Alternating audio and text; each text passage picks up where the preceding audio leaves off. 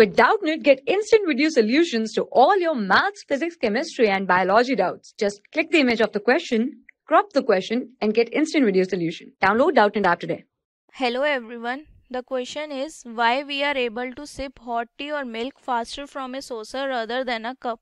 So in this question we have to find out why we are able to sip hot tea or milk faster from a saucer instead of a cup. So let's see the solution.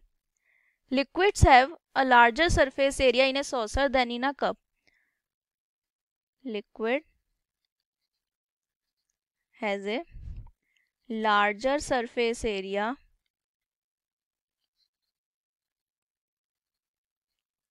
in a saucer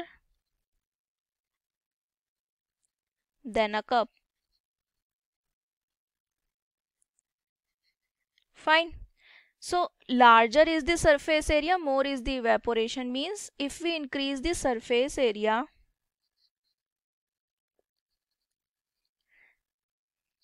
then evaporation will automatically increases. Clear? Thus evaporation is faster in a saucer. So evaporation is faster in a saucer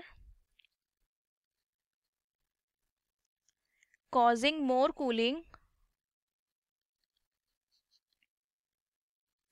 than in a cup.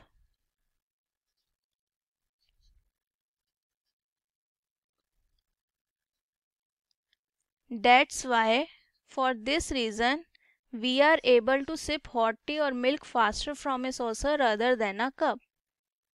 Thank you. For class 6 to 12, IIT JEE and NEET level. Trusted by more than 5 crore students. Download Doubtnut app today.